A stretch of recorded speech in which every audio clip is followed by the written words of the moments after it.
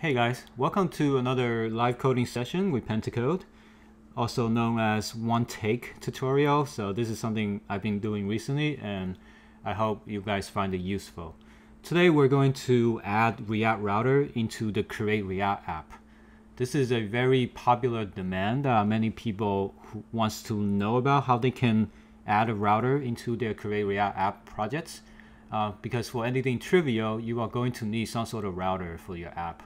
So for those of you who are not familiar with how Create React app works, I will put a link to the video that I did on how you can get started on that. And for those of you who are familiar with it, um, let's follow along and get started. So let's create a React Create React app.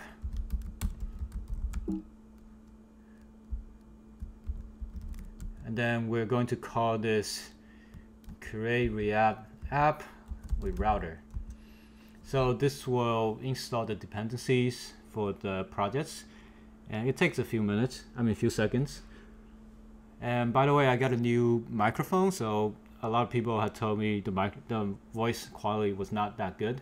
So I got a better Yeti microphone, so let me know if you guys find this better than before. We're just gonna give it a few seconds.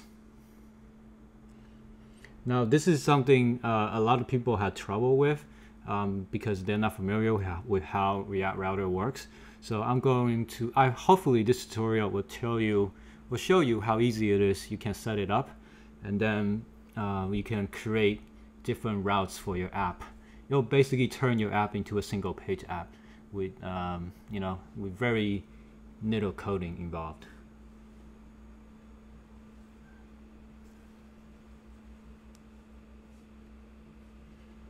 So I'm going to probably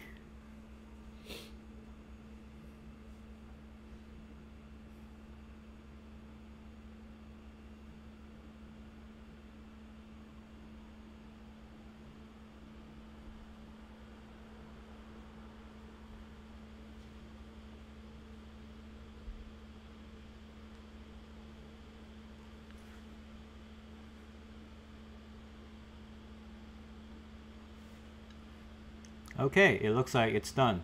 Uh, let's go into the folder. And then we'll, uh, I'm sorry, before we do that, let's open it up in our editor. So once the project is open, let's go into the the, uh, directory and then npm start the project.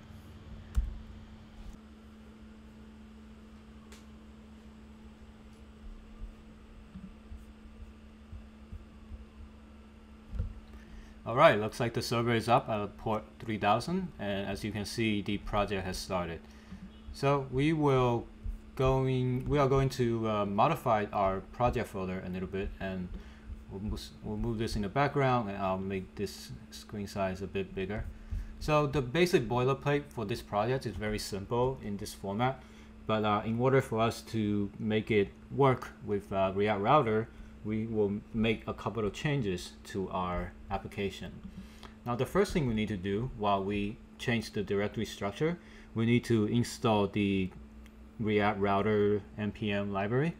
So we're just going to open a new tab and then we can do npm install react router that's that save we'll save it to our package json so while, while it's installing we need to make sure that we are we have the correct project structure set up. So the first thing I would like to do is to create a folder. I want to call this pages.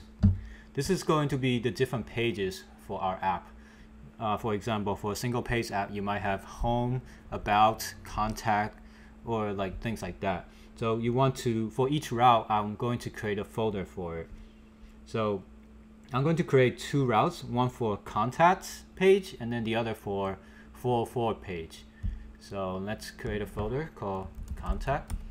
I always like to make it capitalized for all the pages and then we'll, we'll sorry, not folder. We'll create a file called contact.js and then we're going to create a new file called contact.css. Same thing, we're going to make another folder this time we'll call it not found. Now this is the 404 page, meaning if any route that we cannot match from our router, it will automatically go to this component. So essentially these are all React components and the CSS file along with it. So now we have two, uh, two folders and two routes set up.